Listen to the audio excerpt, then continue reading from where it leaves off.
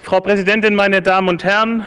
Vergangene Woche titelte das Abendblatt Inklusion überfordert viele Schulen. Damit verdichtet sich unsere Befürchtung zur allgemeinen Erkenntnis.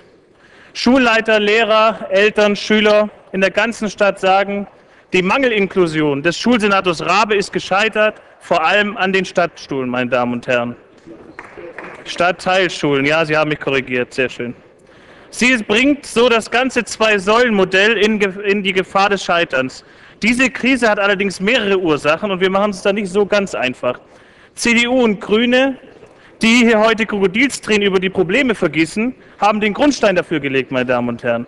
Unter ihrer Führung wurde das Schulgesetz um Paragraph 12 ergänzt. Schüler mit Behinderung und Schüler mit sonderpädagogischem Förderbedarf haben so Wahlfreiheit zwischen einer Förderschule und einer allgemeinbildenden Schule erhalten. Nur hat niemand von ihnen Vorsorge dafür getroffen, dass dieses Wahlrecht breit in Anspruch genommen werden kann. Unterausgestattet und überfordert wurden vor allem die Stadtteilschulen in diesem Prozess alleingelassen. Und Sie, Herr Senator Rabe, haben daran in drei Jahren Amtsführung nichts verändert. Unterausgestattet, alleingelassen und nun auch noch bei der Anmelderunde zunehmend abgemeldet.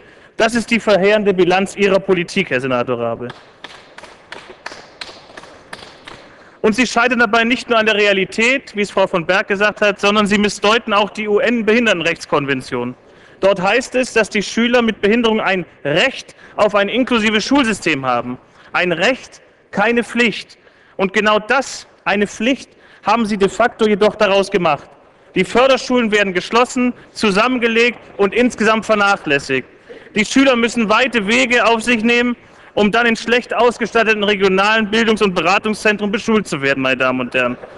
Das aber verlangt überhaupt keine UN-Kinderrechts- oder UN-Konvention. Im Gegenteil, sie weist darauf hin, dass es weiterhin gesonderte Einrichtungen für Kinder mit Behinderung geben kann, wenn sie gebraucht werden. Das aber hat schon Schwarz-Grün in seiner Art Tugendgetriebenheit übersehen. Und die SPD tut aus Einsparpotenzialen genau das Gleiche. Und sie setzen noch eins drauf durch die Vernachlässigung der Stadtteilschule. Auch das begann unter Schwarz-Grün mit der fehlgeleiteten Fixierung auf die Primarschule. Das setzt sich, vor, setzt sich fort. Ressourcen und Kinderzahlen passen überhaupt nicht zusammen. Die Zahl der Kinder ist an manchen Schulen mehr als dreimal so hoch wie von der Behörde angenommen. Ihre Reaktion darauf ist an Ignoranz kaum zu überbieten. Schuld haben natürlich die Schulen.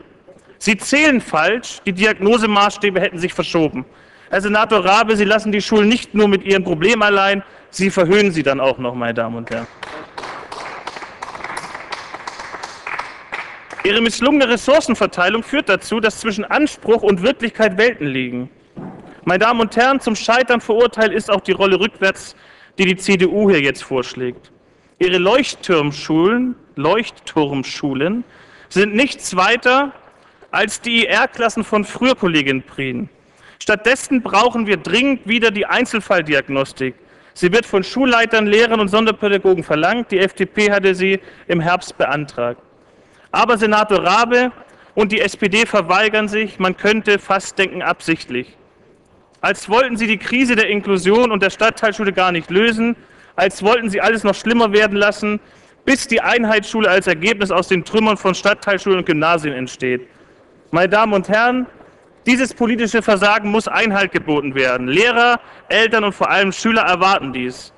Nehmen Sie die immer lauten werdenden Proteste endlich ernst, führen Sie die Einzelfalldiagnostik und die fallgerechte Finanzierung ein, bevor Inklusion zum Schimpfwort